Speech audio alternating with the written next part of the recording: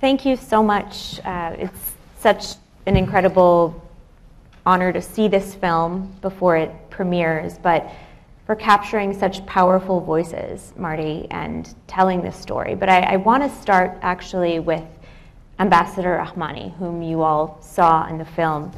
And the film ended with the stories of young women who'd been featured and what they lost.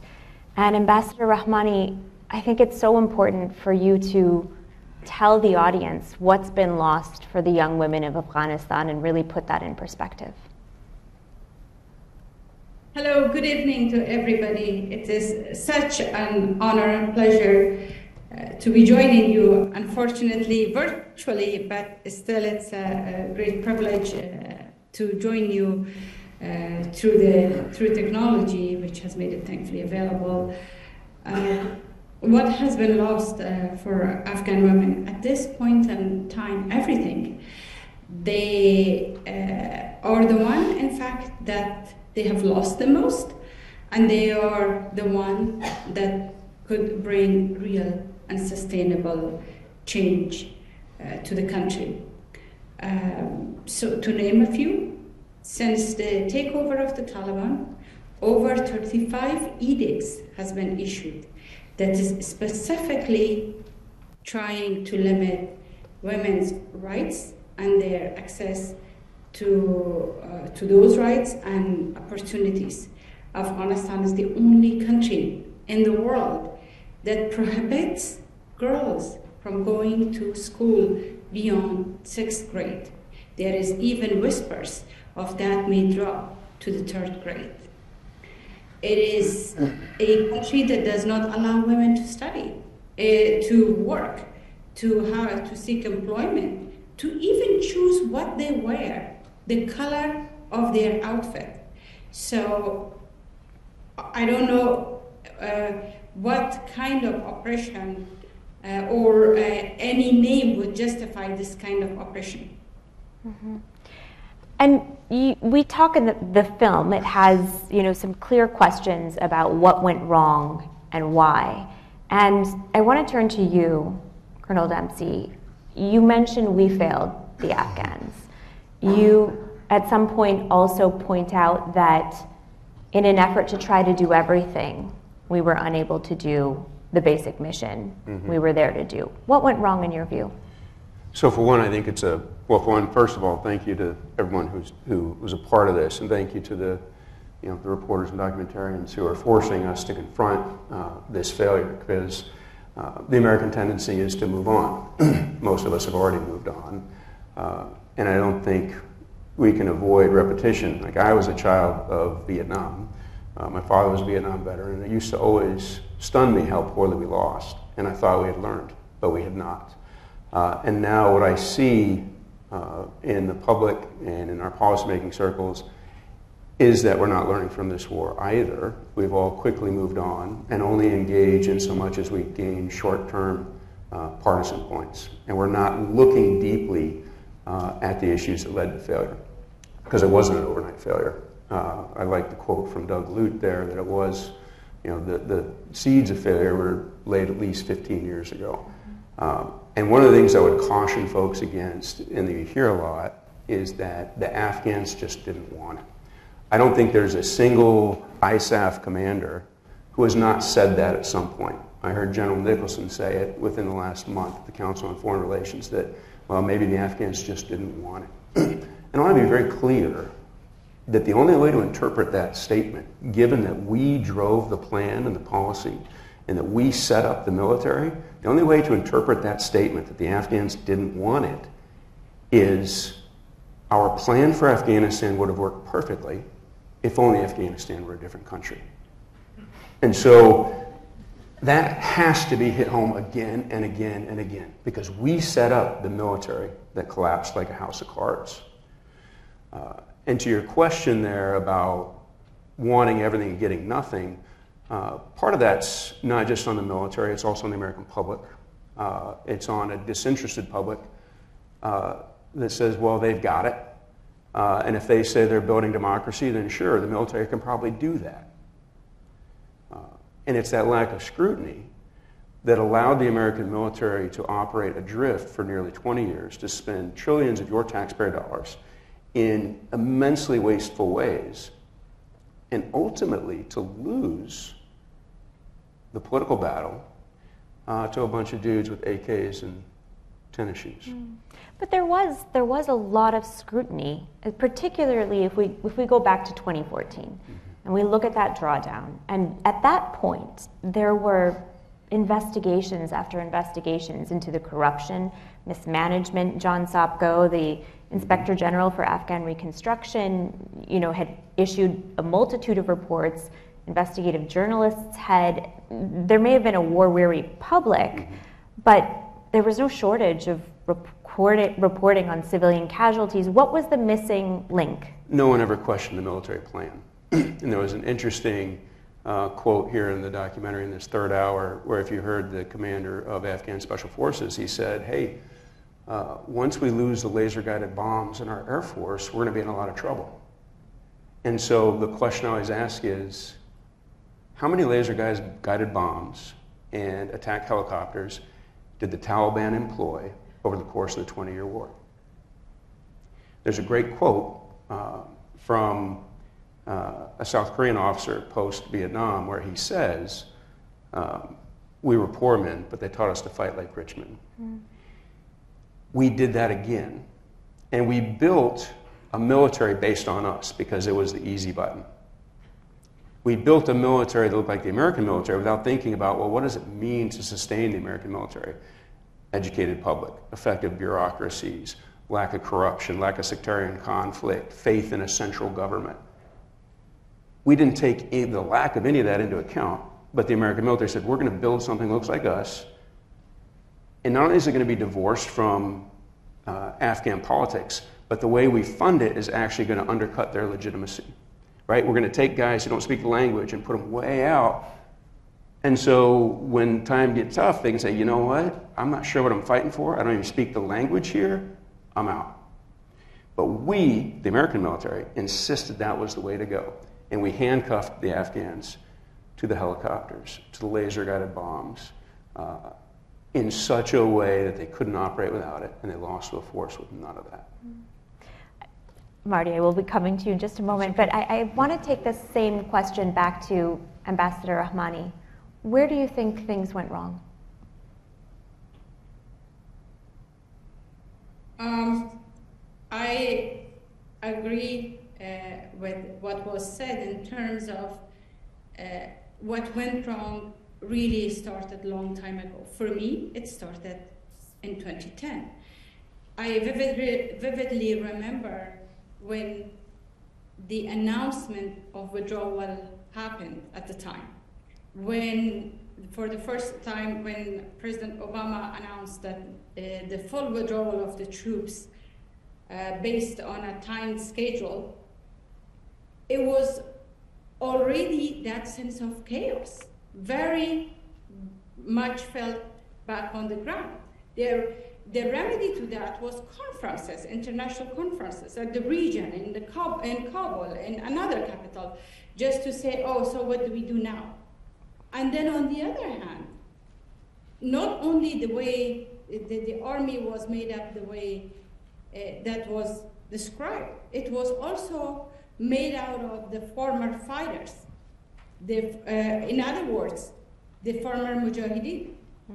who were engaged in civil war, and before that, in the, in, uh, during the Cold War with the Soviets. So there was this army of people who knew nothing but fighting that had transitioned from uh, being a soldier to commander, and then from uh, that, uh, at times, drug lords, warlords, money lords, you name it. So there were many of these becoming big lords. At the time that they learned that the uh, international troops are withdrawing, they knew very well what's going to happen. So a lot of, and not to blame all of it, but the seeds of deterioration, corruption, the failures of the institution, that, that were basically just starting to, to uh, brew, already started to decline. That's, that's, that's one thing. Another thing was the lack of a clear, consistent policy. Afghanistan was defined as a war, as a security issue. When it is a security issue and you define it with the word war, then what's the meaning of winning? And that meaning of win- winning, from what I had seen, for the international community continuously and consistently changed. It had a different meaning at different times. Mm-hmm. For Afghans, it was survival, for ordinary Afghans, for mm-hmm. ordinary citizens. For those with power, it had a different meaning. Mm-hmm.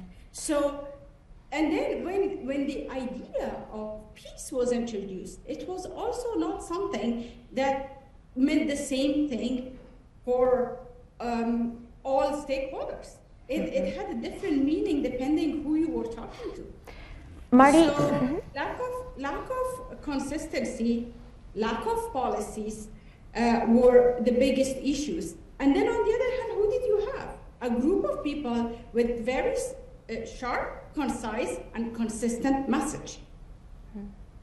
Marty, you've interviewed countless experts who spent incredible time in the country over the last 20 years, returning again and again. You know, we see many of those experts in this film, and you've heard a multitude of views. What do you think are some of the primary, if you had to boil it down to three primary issues, what went wrong? Well, I think the, the, the entire war was botched from the get go. Um, and, and that's what the, the series shows. Um, it, it begins with us toppling the Taliban and then quickly taking our eye off the ball mm-hmm. and going to Iraq, thinking that, uh, I mean, I think it was Rumsfeld that said you, there was nothing more left to bomb. Um, and so we had to move on, and we did. Um, and it wasn't really until Obama's surge under the uh, leadership of General Petraeus that the war was really engaged in. And then it was engaged uh, with this theory that we could somehow win hearts and minds applying counterinsurgency uh, in the country, which was a you know, already um, there were serious questions about how that worked out in Vietnam, but yet we, we strode forward. Um, that was a botched operation. And then as we started to draw down troops and depend more on uh, small teams of, you know, hit squads basically, uh, kill capture mm-hmm. was the name of the policy informally, um, we started hitting the wrong targets. And if, if, uh, if you look at the whole sweep of the series, you just see one um, you know, gross failure of U.S. Uh, military policy then another problem I think that should be raised here, and that is that we not only we under-resourced the war in Afghanistan on all levels, political uh, as well as military, and then we over-resourced it. And what happens if you pour billions of dollars into a country with a nascent uh, government? You have corruption. Uh, we employed warlords. We we rose uh, we raised these people up mm-hmm. Uh, to run the country. So that was botched there. And, and what you see in this uh, unraveling is that by the time we get to Trump, we're just eager to get out. Uh, any kind of deal we can get. I mean, it's incredible to me that Khalilzad answered my question about being soft on the Taliban by saying, no, we got what we wanted. We wanted out, we got out. Um, so we, we were rushing to the exits, and Biden, who had always opposed the war from back in the time when he was vice president, agrees with it. Mm-hmm. Um, and, uh, you know, it's not, I think there's a confusion when he is saying um, that, you know, it was time to get out, therefore it was a good idea. He's not incorporating the idea that this was a botched operation, the whole lack of planning and everything else. So I don't know if I've asked, mm-hmm. answered your question, but it was just one um, terrible um, disaster over 20 years, one after the other. I want to ask about the role of Pakistan, which has played certainly a role in this war. And uh, I want to bring up something that Ambassador Ryan Crocker recounted in a conversation um, that he had with the head of Pakistan's intelligence agency, uh, Lieutenant General Ashfaq Kayani. This was recounted in the book, The Afghanistan Papers. And he says that the ISI chief in Pakistan at the time told him, I know you think we're hedging our bets You're right. We are, because one day you'll be gone again. He's referencing the time at the Russians. You'll be done with us, but we're still going to be here because we can't actually move the country. And the last thing we want, with all our other problems, is to have turned the Taliban into a mortal enemy. So, yes, we're hedging our bets. What role did Pakistan play? I'll ask you. Overstated um, in terms of its military impact. And, you know, we, are all enamored with this theory of counterinsurgency, uh, which really is a fairly simplistic um, boiling down and puts in military terms government legitimacy. Uh, not to get too nerdy on it, but we threw away all these arguments about government legitimacy and decades of research of what we know to be true. And we said, well, we got this new theory. It's called counterinsurgency. It's based on maybe a handful of cases. Anybody who does science, uh, you know, you, it's hard to make generalizations over a handful of cases, but we did. And one of the go-to excuses we always said was, well, We've never defeated an insurgency where there's been a nearby sanctuary. And I say, okay, that's great, but let's take that in context. And I would ask anyone here, you know, I've walked every pass uh, between Pakistan and Afghanistan, at least in Kunar and most of uh, Khost and Paktika. It's hard. It's not easy. And so I would challenge any military leader who brings that up as an excuse for why we lost mm. to say, would you rather have uh, what could be smuggled in on the occasional truck on the backs of donkeys uh, over these really grueling mountain passes that are under constant surveillance uh, by American aircraft? Or would you like the trillions upon trillions of dollars of weapons, ammunition, and personnel that we freely flew in to Bagram, that we freely brought in via train through Pakistan, uh, and convoys, mountains upon mountains upon mountains of equipment? There is no competition.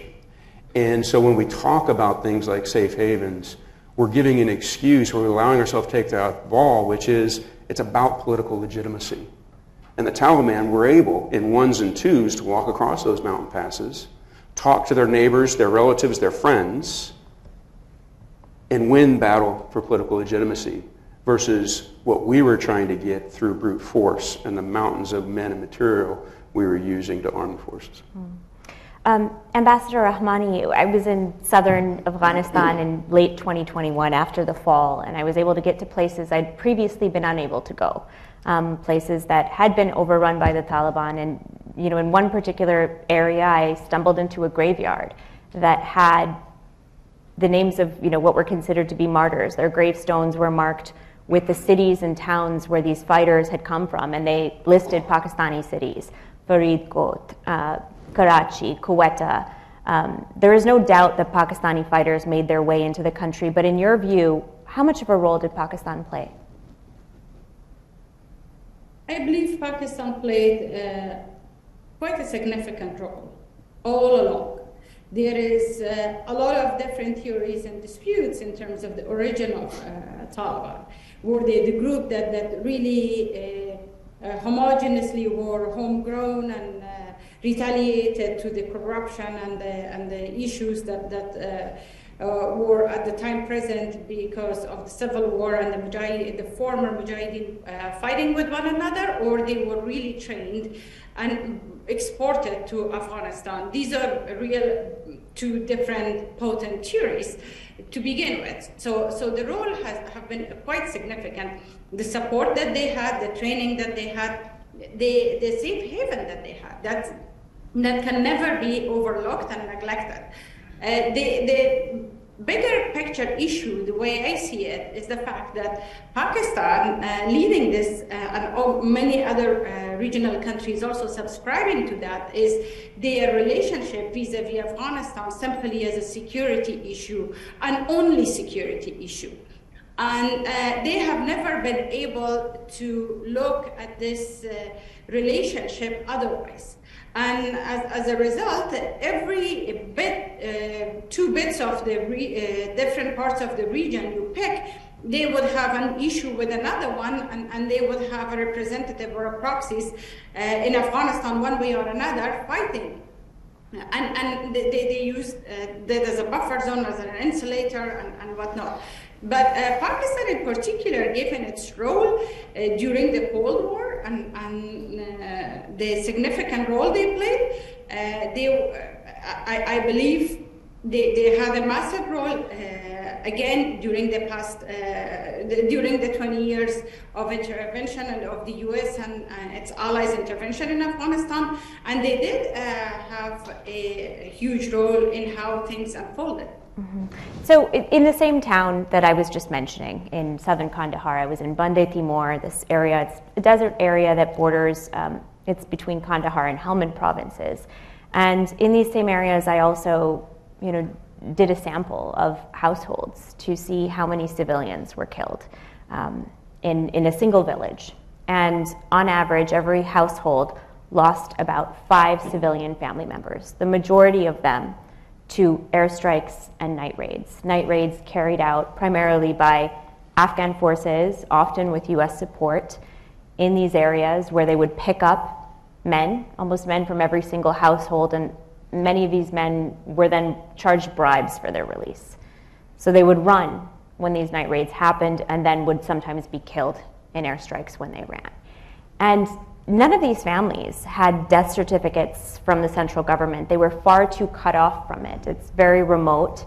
It's hard to reach. Their deaths are not recorded in official statistics. They never met the barometer required for the United Nations to count them in their count in, in terms of the number of sources that were required.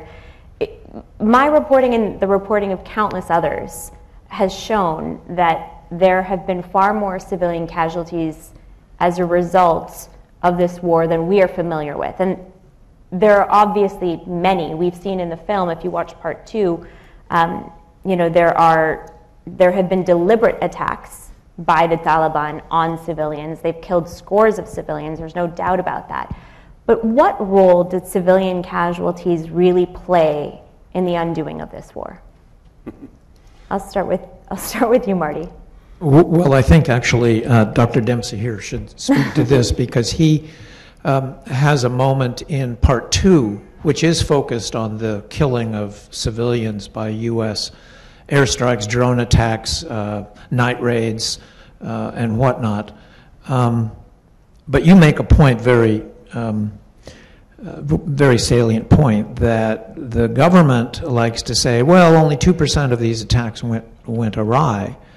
And uh, you picked that up and, and made the point that uh, uh, you can weave quite a few stories uh, out of 2%, and that I guarantee you was what you said. Um, you, you said, I guarantee you it was far more than 2% of these attacks went wrong. And that was our experience too. We'd go to villages and everybody had a story. Yeah, and it's a lot of times we like to downplay those stories, you know, especially when we first got there, like, oh, they're lying, right? We, we always imputed ill motives we always gave ourselves the benefit of the doubt in ways that were, frankly, in a retrospect, shameful and criminal. In terms of looking at a grainy picture feed and seeing a bunch of people carrying a tube at night uh, and weapons and thinking, well, they're here to mortar me, I must kill them, and finding out, well, that's when they hunted and they carried birds in the tubes.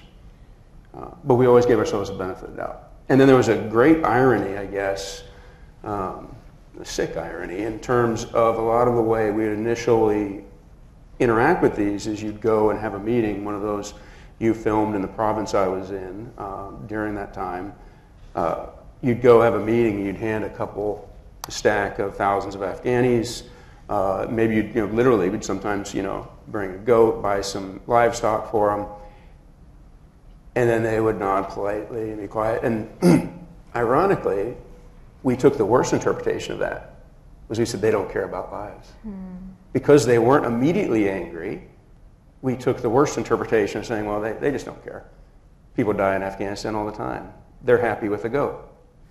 Uh, and you know, great reporting and a great book that I encourage you all to read by Wesley Morgan, uh, who kind of followed the battle in the River Valley over time. I, obviously, that's stupid. Obviously, it's arrogant. Obviously, it's more than a little bit racist and culturally ignorant in how we interpreted that. Because it doesn't matter if it's just one, two, three. If somebody kills a member of my family illegally or unjustly, I don't forget it. I might nod politely when a bunch of people carrying weapons are standing in front of me, uh, but I'm not going to forget it. And that accumulates over time. uh, and it leads to looking the other way. When, hey, your cousin has joined the Taliban, you're not going to turn him in. You're like, hey, okay, get one for us. You know, it's, it's, we interpret it in all the, the worst possible ways to our own detriment. To say, well, not the worst, the worst of it was the Afghans who had to suffer under it. Yeah, just a quick point, and that is that you know the Taliban weren't running around with uh, epaulets that identified them as the Taliban, and there was this tendency to um, to think that we had killed a bunch of Taliban when we'd killed a lot of civilians because there was no there was no clear demarcation. Uh, so, you know, you'd hit a village and you'd kill. Uh, 30 men, and uh, we would just declare them all to be Taliban. Mm-hmm. Always give ourselves the benefit of the doubt. Mm-hmm. Always give ourselves the benefit of the doubt. Yeah. A- Ambassador Rahmani, what, what is your take on, on civilian deaths in this war? Um, I will start uh, with uh, what you started uh, with, and you said that uh, there is no way to count or report uh, people dying in Afghanistan. There is no way to count and report people living in Afghanistan either. Uh, it has just been a country so devastated by war and tragedies and whatnot that unfortunately our lives, Afghan's life, have become a very cheap stuff for all parties. Uh, so uh, yes, uh, I agree that, that those people were not very forgiving in terms of what happened to them. And it happened to all of them, many of them, all the, all the people that they knew each other. I want to add another fault to this also that uh, very often when uh, during all the time that I was engaged with the government, one of the things that I was continuously receiving in terms of reports from our own military was that how people in the villages were forced to send one son to the Taliban if they send one uh, son to the uh, Afghan army or Afghan military. So, uh, in order to balance, in order to be uh, to be able to live where they were living. So, uh, and uh, I knew, and I had seen mothers, met mothers, who had lost her sons. two of them went to the Taliban fighting the other side, and one uh, to the, uh, who was working with the Afghan military and, and killed by the Taliban. So that definition of peace was lost. And that matters. Like when, when this, this idea of, oh, let's uh, find a way to uh, resettle and, um, and find a settlement with, with, completely not thinking about justice, about what had gone wrong, and not even stopping it. The, the, the kidnapping campaign, the killing campaign was uh, at its highest when the, the, the Doha talks were going on by the Taliban. The Taliban were targeting and killing people at, at the highest rate at, the, at, the, at that, uh, in those years, and increasingly so. Uh, so, uh, well, yes, civilian casualty did, did play a, a huge role, not only in uh, encouraging people to maybe um, look away uh, when their cousin was joining uh, the, the Taliban forces, but also that that internalized sense of grievances and anger that that uh, is embedded in them. Now, what I hear from the ground is a lot of people are jo- joining I, uh, ISIL for what happened to them. Uh, now that there is not much reporting, we don't hear how many people are on daily basis getting captured and killed by the Taliban because of being in the wrong side, wrong ethnicity, mm-hmm. speaking the wrong language and whatnot. So that those things are really deepening and unfortunately continues to be. But yes, that, that was a huge factor and totally overlooked, totally downplayed. Yeah. I want to go back to this point that was raised uh, by you, but also in the film. I believe it was uh, General Sami Sadat, who was a commander of the Afghan Air Force. And you know, he described essentially how dependent the Afghan army was on American airstrikes, air support, and in particular, he mentions contractors. That when that mm-hmm. support went away, that the you know experience of the Afghan forces was very different. Uh, how dependent were, was the Afghan army, and I should say, um, you know, General Sadat has been accused of carrying out very uh, excessive use of force in places like Helmand province and in, and um, in particular of, of incredible amounts of civilian casualties in, in Helmand. Um, but how essential was that to sustaining this government? And what does it tell us that if it was so essential to keeping this government running, and, and the point you brought up earlier about what kinds of equipment and material the Taliban had, what does that say about how this war was sustained for so long and when it was truly unwinnable? It's been unwinnable for a while. And you know, the, the two points to just to quickly follow up with what the ambassador said is, you know, the couple of the mistakes we made was one, we didn't have the time or interest in understanding the nuances of Afghan politics and our Afghan enemies. And we quickly, I remember getting to Kunar in 2009 and seeing this hodgepodge, thousands of, not thousands, but dozens of different terrorist groups, all LET, TTP, mm-hmm. and we quickly became tired and said, let's just put it all in one bucket.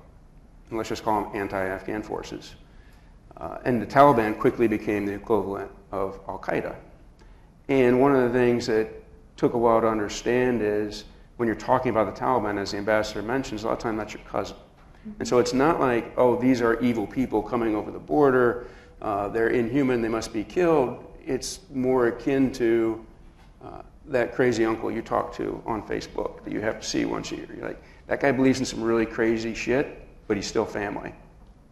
Uh, and we never looked at that nuance and said, okay, well, how do we grapple with that? And oh, by the way, it's not going to be racking up body counts that's going to help us solve that. Mm. And by 2018, we had very few Americans there. Uh, we dropped more bombs than any other point during the war. So think about that more than any other time in the war, which means we dropped a lot of bombs. And we had nobody there uh, to follow up on the messaging battle, nobody there to look and say, well, did this guy just pick up the phone and talk to the wrong person? Was he talking to his cousin, or was he talking with nefarious purposes? Uh, and if there's nobody but a young Talib there to explain what happened, yeah. That story quickly harms us more so than any advantage we got through killing somebody in terms of air, it's just we introduced something uh, almost completely foreign. Again, the Taliban never used a single helicopter in 20 years of war. They did not have aircraft. They had time and patience to work local politics, to talk to the people that need to be talked to, to lean on the people that need to be talked to, uh, to slowly influence and win over the countryside Whereas what we wanted to do was take special forces, which usually were Tajik, they were northerners, often did not speak Pashtun, and we would drop them into these remote areas to do kill capture operations in the same mode as us, which often meant that they would make the same mistakes that we would. Uh, and then we would pick them up and fly around. And we pretended that that was security. And really, it was just the Taliban's unwillingness or inability to mass because they knew they'd get bombed. Uh, but it was a completely artificial construct that allowed us to overlook the fact that the army itself was a house of cards that could not survive in the way that we had built it and deployed it, and that the way we were supplying that military and running it was also divorced from Afghan politics. And the idea that somehow it would just miraculously survive on its own one day is one of the greatest delusions we've ever engaged in. You bring up the, the sort of peak of bombs dropped. And in 2019, we dropped more bombs in Afghanistan than any previous year of the war. And that same year, there was the least media coverage in the United States of that war, of any year. Um, and not long after that, this deal is struck. And I, I want to go to you, Ambassador Rahmani, because you bring up the refrain you were constantly hearing that there are four parts to this, and no part is final until all parts are agreed upon. What were you making of that at the time, first of all? And second of all, if you could go back in time to when this was happening, what would you do differently? Well, first of all, uh, what I, I was making out of the uh, four parts, and nothing would be agreed until all is agreed. Uh, for just the sake of inevitable situation that I, like many others, were was I was seeking hope in it.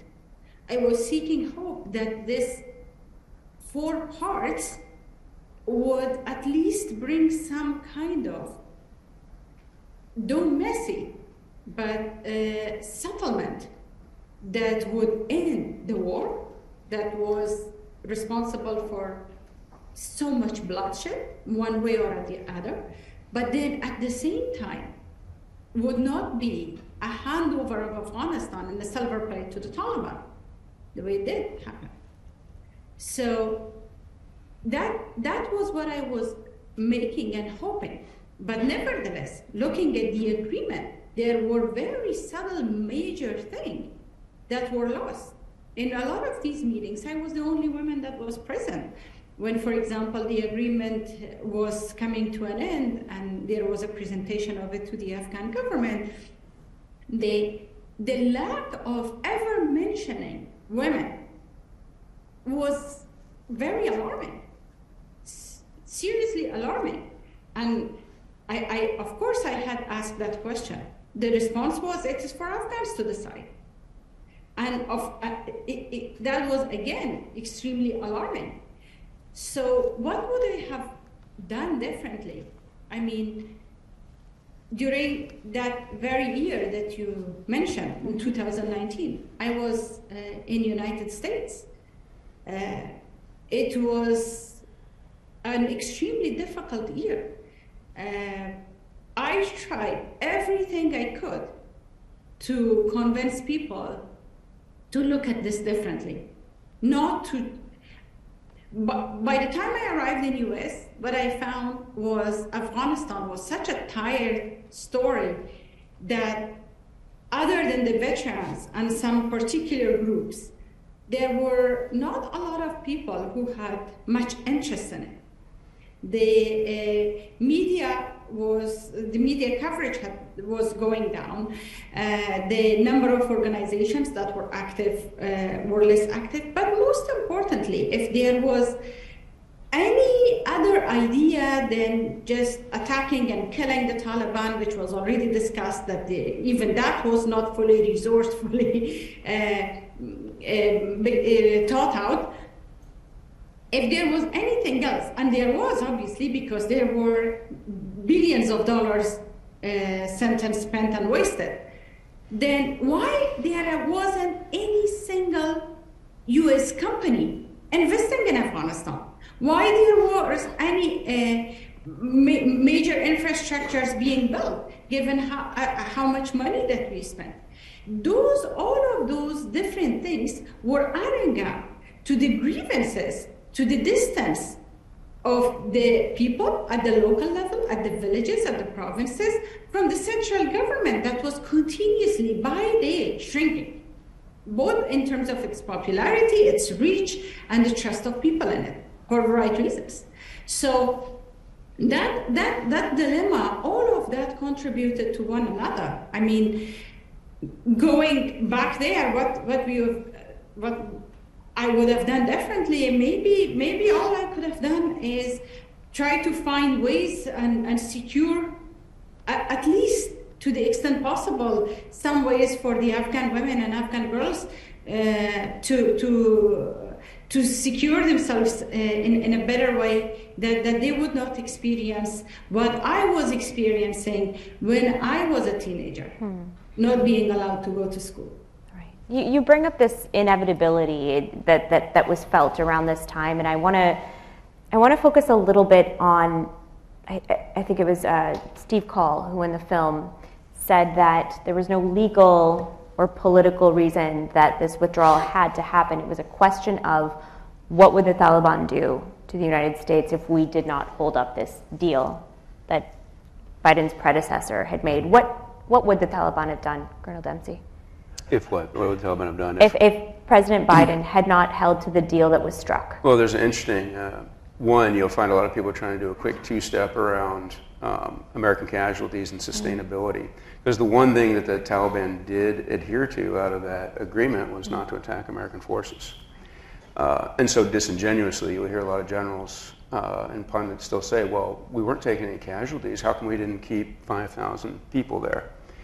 Uh, and so the question is had that then been withdrawn, uh, one, the Taliban would have began attacking us again, and then we would have ramped up bombing again, uh, and we would have continued perpetuating this self-licking ice cream cone of violence and death that was not doing a damn thing uh, to bring about a sustainable, peaceful Afghanistan.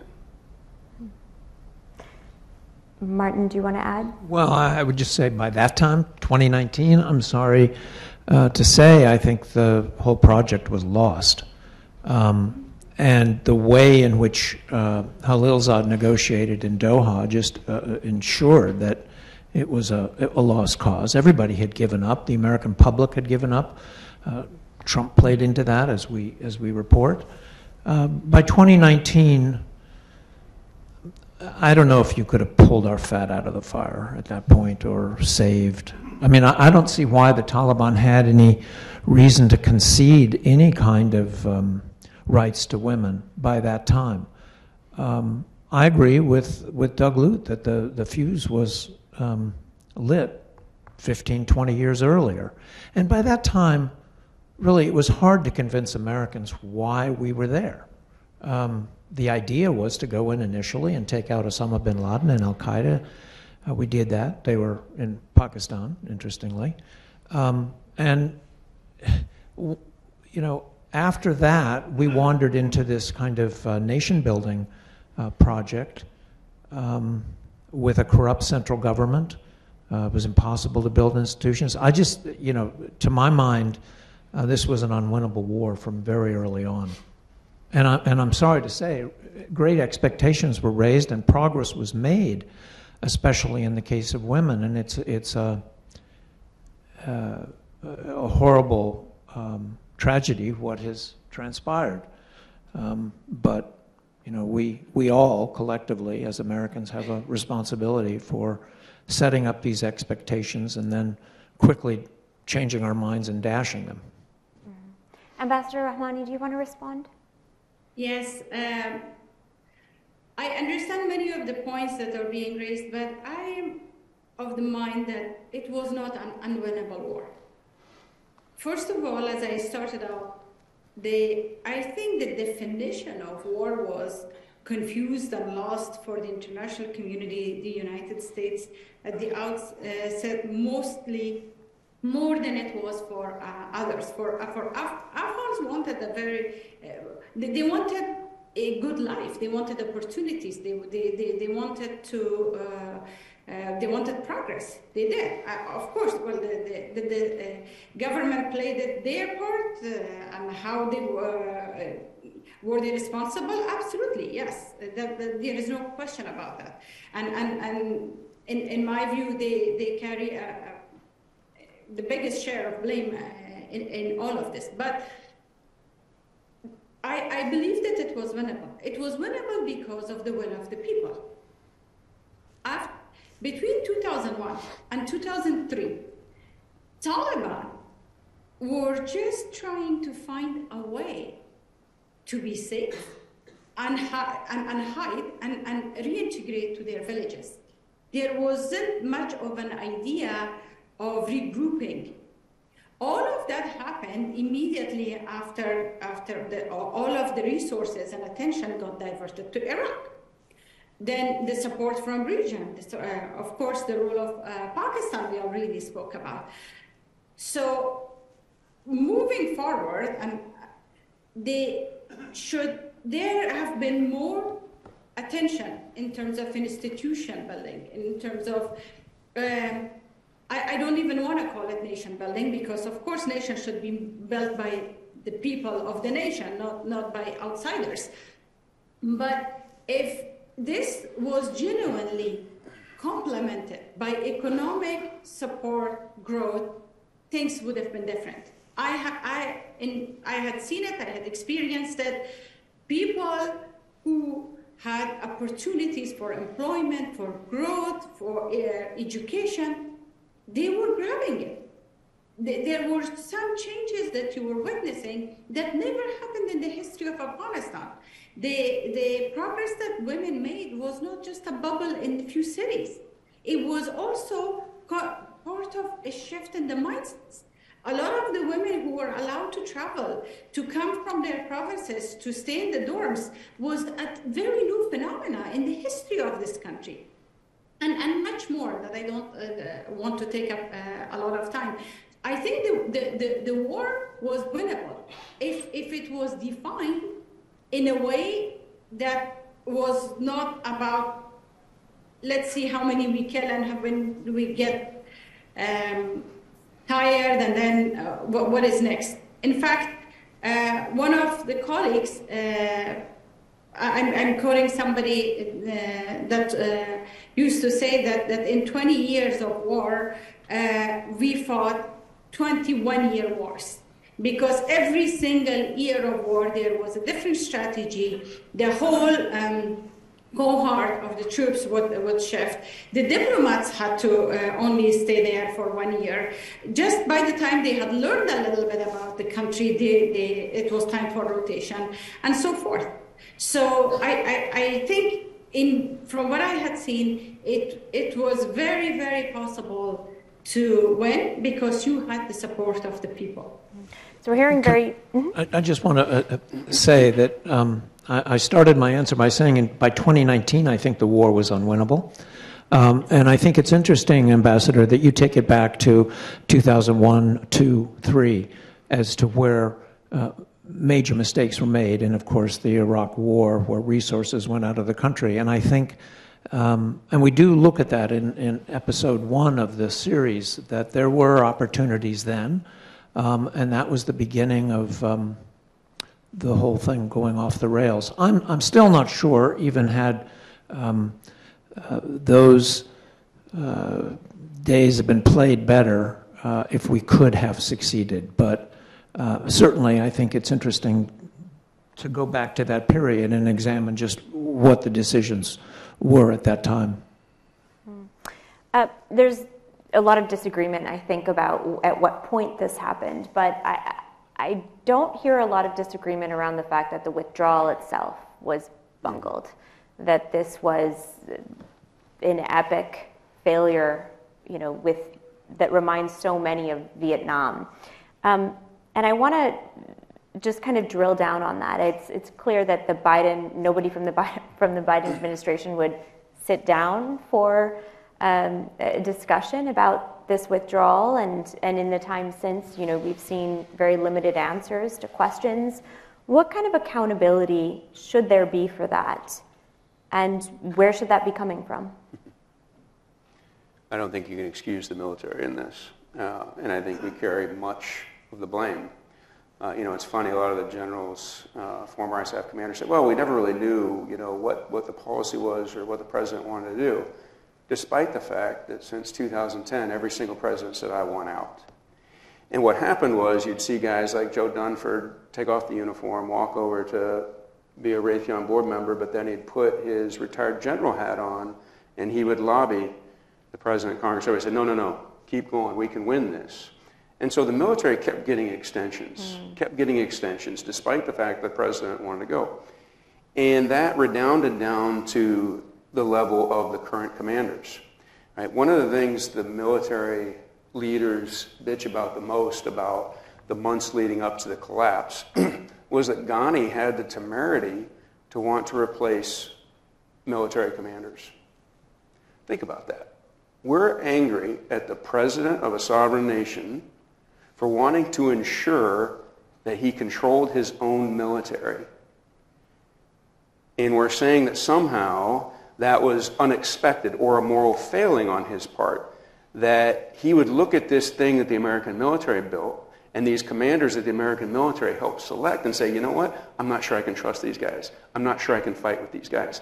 And I lay that directly at the feet of Scotty Miller who knew he had, under President Trump, wanted to get out. President Biden said he wanted to get out. But every single American commander said, you know what? It's easiest to stick with the plan we got. Let's keep propping up this military, and let's just hope that our retired cohort will get us an extension on the play versus any actual introspection or any of the hard decisions that say, you know what? Maybe we need to let this military fragment while we're here Maybe we need to let Ghani put his own commanders in and get them out. We'll support them with air and do what we can, but let him build a force organic to Afghanistan that wants to fight for political leaders in Afghanistan and not at the behest or under the tutelage, patronage, and oversight of the American military. Uh, I mean, the morale was um, in the toilet um, by 2015, and they were losing one third of all recruits um, every year, and they'd have to replace them because these guys were coming out of their villages, getting a paycheck, not a very good one, but they're getting a paycheck, uh, going to fight, and then once they had a little bit of money in their pocket, they would go back home. Uh, there was not the kind of commitment. Um, you know, the, the Taliban, whatever you think of them, were a force with a tremendous amount of legitimacy in the south and east of Afghanistan. And all you have to do is ask Vladimir Putin what it's like to go into a foreign country and try to defeat an indigenous force of people who believe this is their country. The Afghan forces did need to be radically rebuilt, um, but that's you know building the airplane, as the, as the saying goes, in mid-flight. It was a, it was a heavy lift. They, they, were the morale, as I said, was just really low, and it, it was a it, it, was a problem that had festered for uh, too many years. Uh, by the time Ghani comes into office, um, as I say, it, w- it, was a big project. Mm-hmm. And Ambassador Rahmani, in terms of accountability now, and thinking about what, especially what young women and girls have lost, where does accountability lay, and what would you like to see done? Well, when it comes to blame, I think there is enough of it and everybody can get their share. Uh, I don't want to dwell too much about that, but as an Afghan, I, I do uh, uh, put uh, a lot of responsibility, if not most of it, but a lot of it, uh, or uh, on, on, the, on Afghans themselves, on ourselves, on, on the leadership, on how we handle things on all sides. And when I'm talking we, it doesn't mean the Afghan government, uh, every single Afghan, uh, one way or another, involved. Uh, we failed collectively uh, as a nation, and uh, it, it, has been uh, bad and tough. Um, yes, and, and the people who are paying the price are the poorest, most vulnerable, women and children are at the forefront of this, uh, and now the, the, the, front of the war has uh, shifted, facing women at this point. Um, so, what can be done is the main question, and there is a lot that can be done. Unfortunately, what I continuously see is a, a, a huge tendency uh, for uh, totally ignoring and disengaging. In addition to the fact that it is a tired story, it's also a story that people do not want to hear about. That it's it's a sore spot, and uh, now there is there's uh, many more newer issues, uh, sexier uh, crises that everybody is getting, unfortunately, very preoccupied with. Um, so to do anything, you really need to, first of all, recognize that repeating the policies that did not yield the uh, desirable outcome is not going to yield uh, that uh, if we repeat it. Uh, number one. Number two, uh, so long as Afghanistan is continuously and only seen either as a security issue, as a security threat, or a charity basket there is nothing much that can be done. That, that view, that mindset needs to shift. And if there is any willingness to shift that, then again, uh, I am saying the people of Afghanistan is, is the, the uh, biggest asset that was built over, over the past two decades. Uh, the young population who are hungry for education, for opportunities, and they simply want a good, peaceful, normal life. Uh, they, they, are the assets and, and, investment on them and opportunities on infrastructure, on ways to engage in, uh, to empower people uh, would be the way out. Okay, and um, in terms of accountability in the United States, learning lessons from this war, there are war commissions. Uh, there are supposed to be there's supposed to be critical examination of what went wrong, and, and ideally, you know, this can help inform future wars. What are your what is your outlook on the likelihood of us really drawing real lessons uh, for the United States? My fear here goes back to one of my initial comments, which is about what led us here was the distance between America and its military, uh, in a way that manifests very counterproductively. You know, um, most of us aren't asked to engage uh, with the war in Afghanistan. Most of we're not asked to pay war taxes. There's no chance of a draft. Um, and so people use that as an excuse to abdicate their responsibility as citizens. Uh, and your responsibility as a citizen is not to thank the troops for their service. Your responsibility as citizens is to ask the hard questions of the generals and politicians who put them in harm's way. But my fear is that, well, we must respect the military, is what you're going to see in the partisan maneuvering on Capitol Hill and in all these debates. Everybody say, well, put the military aside. The military, of course, did nothing wrong. Uh, it was all Biden. It was all Trump. It was all that. The military was the dominant voice in this. It's really hard to name, if you ask most Americans, could they name an ambassador to Afghanistan? I guarantee none of them could.